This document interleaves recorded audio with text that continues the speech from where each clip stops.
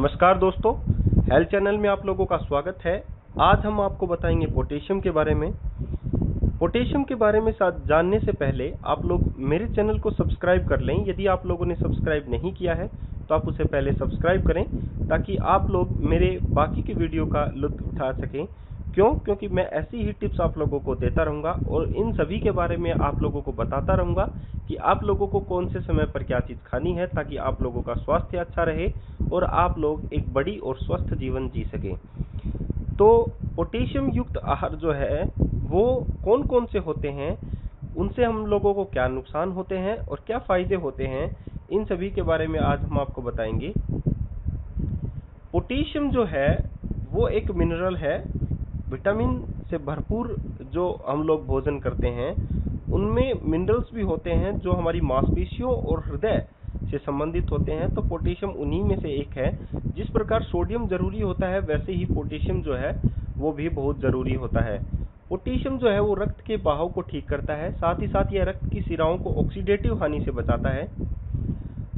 यदि आप पर्याप्त मात्रा में पोटेशियम नहीं लेते हैं तो आपको क्या नुकसान हो सकते हैं? आइए जानिए। पोटेशियम की कमी से हमारे शरीर में क्या कमी आती है? शरीर में पानी की कमी आ जाती है। यदि आपके शरीर में पोटेशियम कम है, तब बहुत अधिक मात्रा में शरीर से पसीना बाहर आएगा। कभी कभी हाथ और पैर शून्य रहते हैं और दिल की धड़कन में उतार चढ़ाव रहता है। इम्यूनि सिस्टम जो है वो डाइन डाउन हो जाता है, जिसके कारण हमारा शरीर थका थका सा रहता है। जी मतलाता है, उल्टी होती है, प्यास बनी रहती है और चक्कर भी आने शुरू हो जाते हैं। हर बार काफ़ी मूत्र निकलता है और मूत्र विसर्जन के अंतराल में बढ़ोतरी होती है। रक्तचाप का कम होता है और चिंता से आदमी जो है वो घिरा रहता है। पोटेशियम युक्त आहार के कौन कौन से फ़ायदे हैं, वो देखिए। हृदय के स्वास्थ्य को अच्छा रखते हैं। हृदय की धड़कन से आप बहुत सी बीमारियों का पता लगा सकते हैं। इसीलिए हृदय की धड़कन से सही बनाए रखने के लिए पोटेशियम बहुत ही ज़्यादा ज़रूरी है। पोटेशियम को मज़बूत बनाता है क्या? पोटेशियम जो है वो मज़बूत बनाता है मांसपेशियों को, जिससे ऐठन को कम किया जा सकता है। मांसपेशी मज़बूत बनती हैं। कहने का मतलब है, शरीर में पोटेशियम की कमी ऐठन पैदा करती है और मांसपेशियों को कमज़ोर करती है।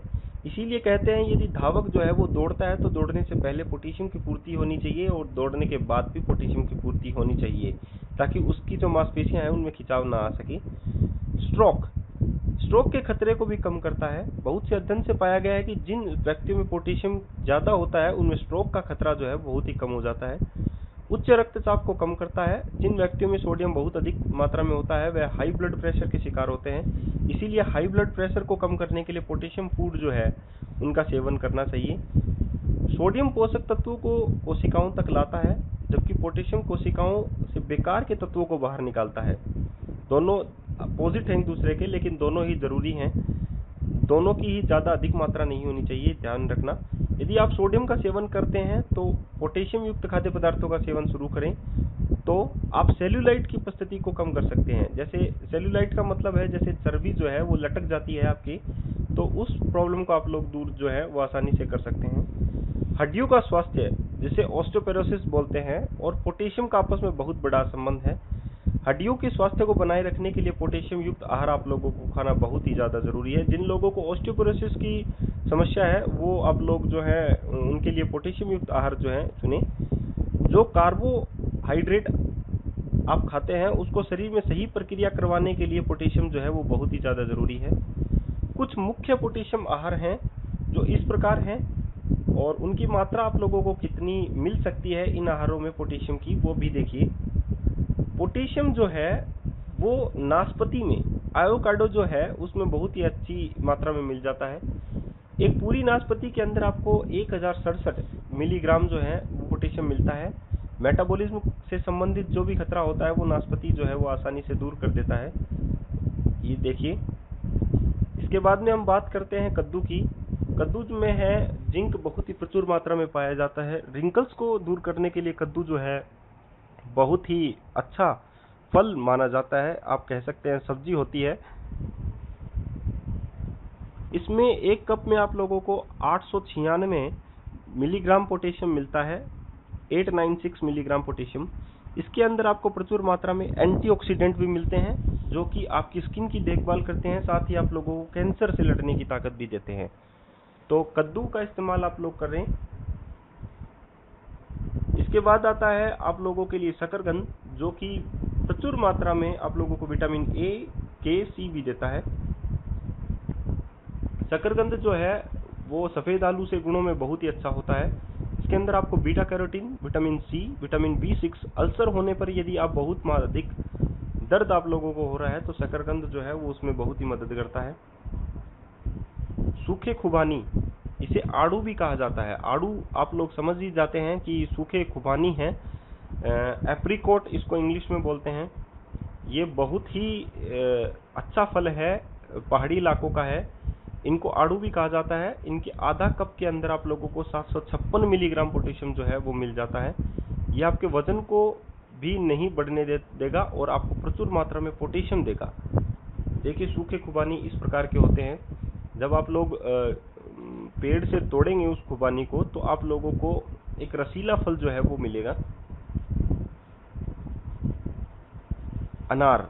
अनार के बारे में कौन नहीं जानता जिन लोगों को अनार के बारे में पता है, वो इसके गुण भी जानते हैं कि पोमोग्रेनेट जो है, अनार जो है, वो उसके क्या फ़ायदे हैं। एक अनार के अंदर आपको छह मिलीग्राम पोटेशियम मिलेगा। अनार का जूस हो या अनार के बीज, दोनों ही आप लोगों को छह सौ सड़सठ मिलीग्राम पोटेशियम देंगे। अनार के अंदर आपको प्रचुर मात्रा में फाइबर, विटामिन सी, विटामिन के, और हम यह कह सकते हैं कि यह बाकी फलों की तुलना में बहुत ही ज़्यादा बेहतर होता है। अनार का जूस बाकी सभी जूसों से बेहतर है। क्यों? क्योंकि यह तनाव भी साथ में कम करता है।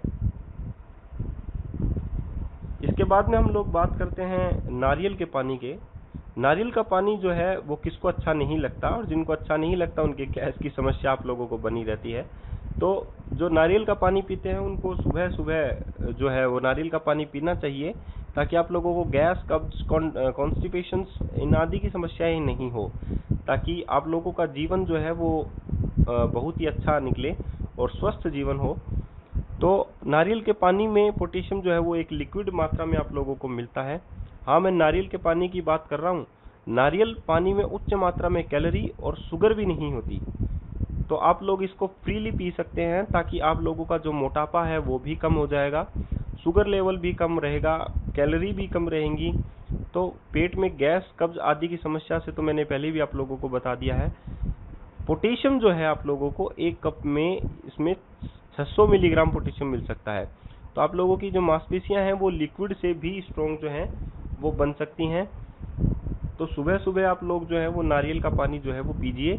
आप लोगों को बहुत ही गुणकारी साबित होगा। गठिया बाय रोग में मैंने आप लोगों को नारियल का पानी बताया है, क्योंकि गठिया बाय रोग में आप लोगों को अर्थराइटिस, जिसको हम लोग बोलते हैं, उसमें आप लोगों को जॉइंट्स पैन में गैस फिल होने की वजह से आप लोगों को दर्द होता है तो गैस कब्ज कॉन्स्टिपेशन जो समस्या है, वो नारियल के पानी से आसानी से दूर हो सकती हैं। इसके बाद हम लोग बात करते हैं केले की। केला भी जो है, वो प्रचुर मात्रा में पोटेशियम का जो है, वो एक आहार बहुत ही अच्छा है। पोटेशियम जो है हमारी मांसपेशियों को मज़बूत करता है तो आप लोगों ने सुना ही होगा जो धावक होते हैं, उनको केले की राय दी जाती है, केला और दूध, ताकि उनकी जो मांसपेशियाँ हैं, वो उनमें खिंचाव ना आ सके। साथ ही साथ पोटेशियम की जो पूर्ति है, वो भी हो सके।